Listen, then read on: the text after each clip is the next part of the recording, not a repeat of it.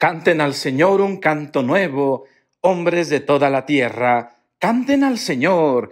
Hay brillo y esplendor en su presencia, y en su templo belleza y grandeza. Aleluya, aleluya.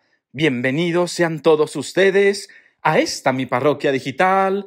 Yo soy el Padre Sergio y quiero compartirte con muchísima alegría las lecturas y reflexión de la Santa Misa del día de hoy, lunes primero de febrero.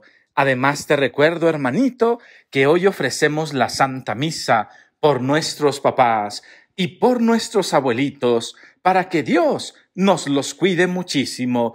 Claro que sí. Y bueno, ahora sí, vamos a por comenzar. En el nombre del Padre, del Hijo y del Espíritu Santo. Amén. Primera lectura de la carta a los Hebreos. Hermanos, ¿Para qué seguir hablando sobre el poder de la fe?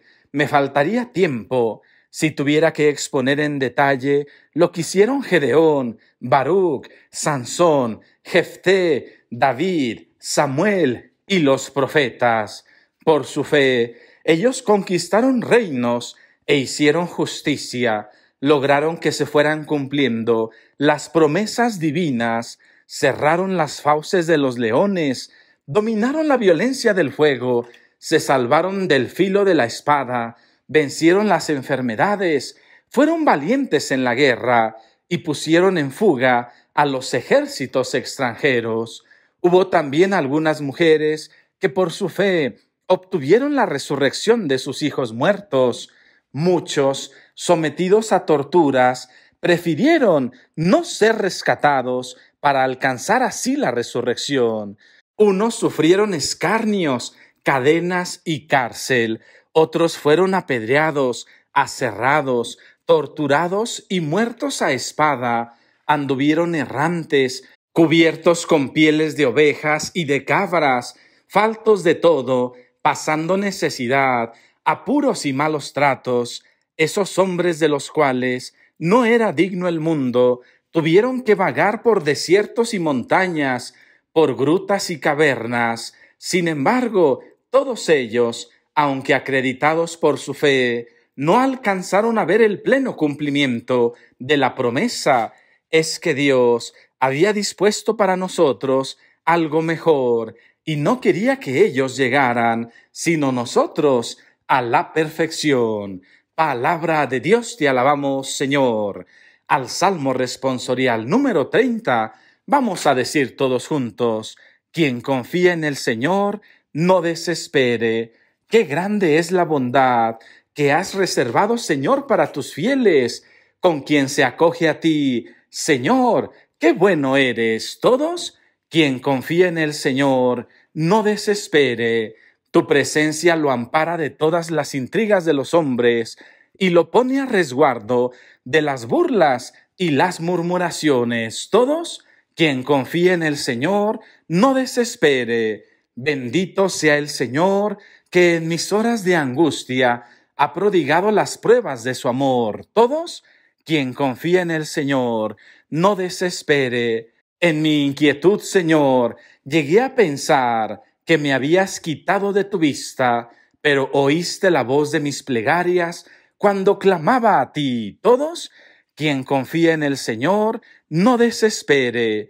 Que amen al Señor todos sus fieles, pues protege a los leales y a los soberbios da lo que merecen. Todos, quien confía en el Señor, no desespere. Aleluya, aleluya. Un gran profeta ha surgido entre nosotros. Dios ha visitado a su pueblo. Aleluya, aleluya. Que el Señor esté con ustedes. Proclamación del Santo Evangelio según San Marcos. En aquel tiempo, después de atravesar el lago de Genezaret, Jesús y sus discípulos llegaron a la otra orilla, a la región de los Gerasenos. Apenas desembarcó Jesús, vino corriendo desde el cementerio un hombre poseído por un espíritu inmundo que vivía en los sepulcros ya ni con cadenas podían sujetarlo. A veces habían intentado sujetarlo con argollas y cadenas, pero él rompía las cadenas y destrozaba las argollas. Nadie tenía fuerzas para dominarlo. Se pasaba días y noches en los sepulcros o en el monte, gritando y golpeándose con piedras. Cuando aquel hombre vio de lejos a Jesús, se echó a correr, vino a postrarse ante él y gritó a voz en cuello, ¿Qué quieres tú conmigo? Jesús, Hijo de Dios Altísimo, te ruego por Dios que no me atormentes.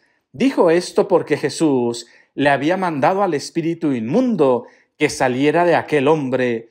Entonces le preguntó Jesús, ¿Cómo te llamas? Le respondió, me llamo Legión, porque somos muchos, y le rogaba con insistencia que no los expulsara de aquella comarca. Había allí una gran piara de cerdos que andaban comiendo en la falda del monte. Los espíritus le rogaban a Jesús, déjanos salir de aquí para meternos en esos cerdos, y él se lo permitió. Los espíritus inmundos salieron del hombre y se metieron en los cerdos, y todos los cerdos, unos dos mil, se precipitaron por el acantilado hacia el lago y se ahogaron. Los que cuidaban los cerdos salieron huyendo y contaron lo sucedido en el pueblo y en el campo. La gente fue a ver lo que había pasado, se acercaron a Jesús y vieron antes al endemoniado, ahora que andaba en sano juicio, sentado y vestido. Entonces tuvieron miedo y los que habían visto todo les contaron lo que le había ocurrido al endemoniado y lo de los cerdos. Ellos comenzaron a rogarle a Jesús que se marchara de su comarca. Mientras Jesús se embarcaba, el endemoniado le suplicaba que lo admitieran en su compañía, pero él no se lo permitió y le dijo, vete a tu casa, a vivir con tu familia, y cuéntales lo misericordioso que ha sido el Señor contigo. Y aquel hombre se alejó de ahí y se puso a proclamar por toda la región de Decápolis lo que Jesús había hecho por él, y todos los que lo oían se quedaban admirados. Palabra del Señor. Gloria a ti, Señor Jesús. Hermanitos, estamos comenzando un mes maravilloso y hay una frase en la primera lectura que quiero leerte. Dice así, hubo también algunas mujeres que por su fe obtuvieron la resurrección de sus hijos muertos. Fíjense, Qué bonita frase, qué bonita afirmación. Las mujeres, las mamás, por su fe, por su oración, por su confianza en Dios, obtuvieron la resurrección para sus hijos y para sus hijas. Ahora que estamos comenzando este mes maravilloso de febrero, sé muy bien que hay algunos problemas en tu familia, que hay algunas situaciones para con tus hijos, pero hey, mamá y papá, si tú te comprometes a rezar, si tú tienes fe, toda tu confianza en el Señor hará incluso que resuciten los muertos. Así es que ánimo, estamos comenzando un mes y cuánto deseo que sea un mes acompañado de la confianza en Dios. Como dice el Salmo 30, quien confía en el Señor no desespere. Así es que vamos a practicar. Te reto que tú y yo practiquemos y durante este mes no nos desesperemos, no nos angustiemos, sino más bien redoblemos la oración, redoblemos nuestra plegaria a Dios para que Él nos escuche y nos ayude a seguir adelante